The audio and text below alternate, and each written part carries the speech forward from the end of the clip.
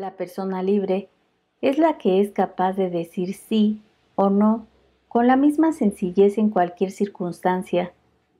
Si a veces dice sí por no desilusionar a la gente, eso no es amor, es cobardía.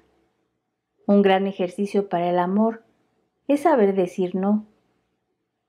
Cuando alguien te pide algo insistentemente, como si se fuera la vida en ello, y tú no ves lo positivo de acceder, sé capaz de decir sencillamente y todo lo energéticamente que sea necesario que tú no sueles hacer regalos ni concesiones a las personas si no tienes claro los medios ni los motivos para hacerlo, porque si no, tú te vas a quedar resentido de su imposición y él va a ser una víctima de ese resentimiento que provoca y además estarás retrasando su crecimiento y autonomía como persona.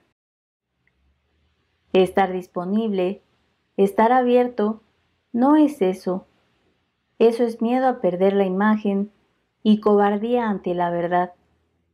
Porque decir la verdad es a veces difícil. No quieres darle un remedio, pero quieres que se cure, y en cambio, no aguantas que se porte así. No seas hipócrita ni cobarde. ¿Qué hay de bueno en tu actitud? Si estuvieras completamente libre del sentido de culpabilidad, le hubieras dicho que no sencillamente. El egoísmo es exigir que el otro haga lo que tú quieres. El dejar que cada uno haga lo que quiera es el amor. En el amor no puede haber exigencias ni chantajes.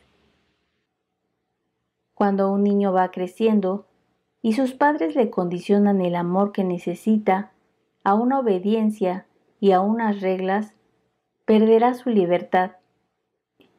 Y por miedo a perder el amor de sus padres, su aceptación y sus caricias, comenzará el apego.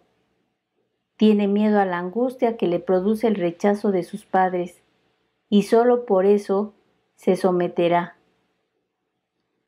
Eso es un chantaje afectivo que va a pagar muy caro durante toda su vida.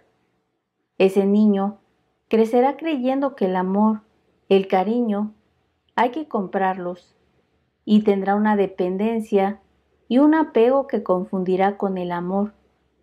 Su mente estará programada. Las personas programadas van buscando siempre hacer las cosas mejor, tratando de quedar bien con todos. Van ansiosos de victorias, de conquistas, de logros y nunca están satisfechos. Por eso sufren tanto, cuando no alcanzan las metas que su exigencia les impone. Son seres que no viven ni disfrutan con lo real, estos seres extienden su exigencia a los demás y por eso están incapacitados para amar. Si has de estar libre para amar, aprender a decir no es indispensable.